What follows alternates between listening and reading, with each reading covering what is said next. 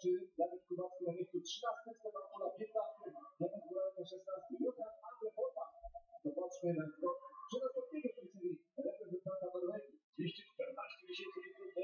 Również możemy spodziewać się dalekiego lotu, jeżeli wykorzysta panujące warunki. Także wydaje mi się, że powyżej 200, w 225 metra. Rekord życiowy 225,5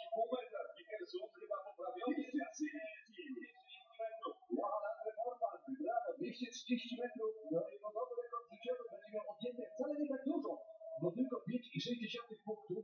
No Do tego noty patrzymy 3 razy 18,5, 2 razy 19 punktowe, skoczył 3,5 metra dalej niż Stefan Krafta, więc będzie nowym liderem. Ma 5 punktów odjętych i wyprzedzi Stefana Krafta.